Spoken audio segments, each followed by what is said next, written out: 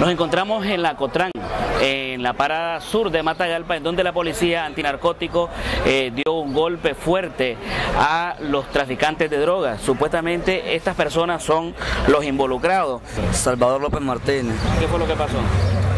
Nosotros por lo menos no sabemos, no sabemos pues, nosotros solo miramos y ya está, nosotros no damos cuenta de eso. No, los, los sacos pues, nosotros no, no, sabemos de nada pues nosotros. ¿Ustedes los estaban abriendo? Para... No, nosotros los miramos, los sentamos, pero está ahí, nosotros no damos cuenta de nada. Es como cualquier persona, aquí están varias personas y no se lo puede mirar una cosa. Amigos?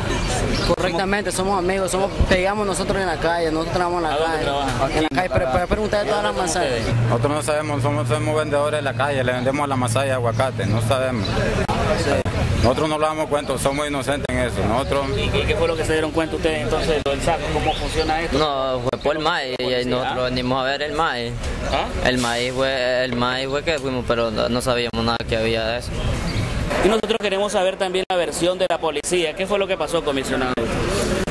Bueno, tuvimos información a través de la inteligencia que el día de ayer se presentó un vehículo aquí a descargar ocho sacos de, de son cuatro de maíz y, tres de, de, frijoles, siete sacos. Eh, resulta que el día de hoy esos sacos pasaron toda la, noche de ayer y todavía el día, el día de hoy por la mañana. Aproximadamente 33 libras fueron las que ocupó la policía.